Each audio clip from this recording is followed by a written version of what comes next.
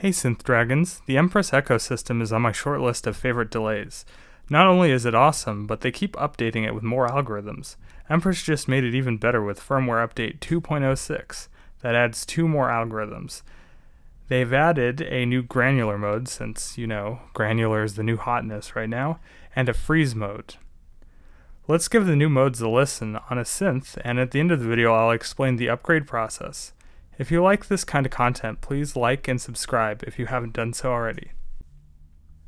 I'll be using a pad sound with Novation Peak so you can hear both the freezification and granular modes easily. And here's the dry signal. So the first one that we're going to go ahead and check out is the freezification mode, and that's set in the ambient setting when it's set to purple. So I'll go ahead and enable that. None of the settings really do anything except uh, thing 1 and 2. So now I'll press the tap button, and there you go, it's frozen. Thing 1 and 2 set the fade in and fade out, so right now they're all the way down, so you'll get instant fade out or just it'll stop. So what I'll do is I'll turn them about halfway and then and now when I disengage the setting, you'll hear it fade out. So that's pretty much it. It's kind of useful, especially since this is dual engine. You can have that piped in to another algorithm so you can kind of have something to play over it. I mean, this has a full looper, but this is kind of like just simple for small, like for a pad, for instance. That's why I'm using the pad.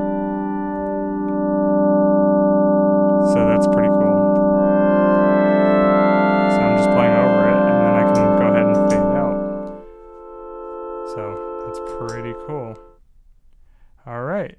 So the next setting that our algorithm is the new granular setting. Um, that is set with the red on stutter. I'm going to go ahead and turn down tone, thing 1 and thing 2, which are all settings in this one. And the time and feedback are just like a normal delay time and feedback. So dry again, turn it on. So tone is the granular density, so and the thing one is the granular size or the grain size. So it'll sound like crap right now, like it's it almost sounds like a digital buffer overflow or something like that, or you know, like DAT dropouts. Now if I turn this up, so the density basically sets how high quality I'm guessing the grain is or how big the grain is. Well, it's not really the size of the grain, it's kind of like the quality. Now if I turn up the grain uh, size, it'll start sounding more like the input. It's almost like a tremolo now. It sounds really cool on its own. Now thing 2 changes randomization of the pitch. So now it's playing back each of the grains randomly. You can go really insane by it.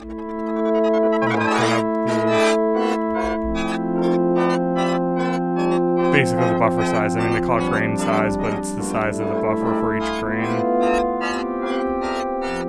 And then having some feedback on that. I kind of just like it without any randomization. Because then when the pad stops, for instance, it kind of gives like a glitchy feel to it.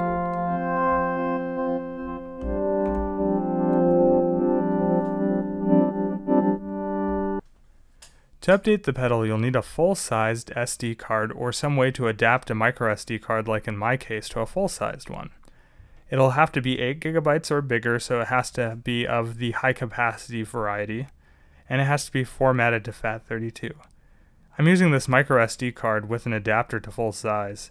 I found it in a kit of uh, old Raspberry Pi stuff that I had, so it'll work just fine. The pedal itself will be required, obviously, and so will a power supply. A device with an SD card reader or an SD card reader in a device already that has the ability to copy files to it in FAT32, in this case, a Windows 10 laptop. The updated files from Empress are linked in the description. What you're going to want to do is download it and copy it to the SD card.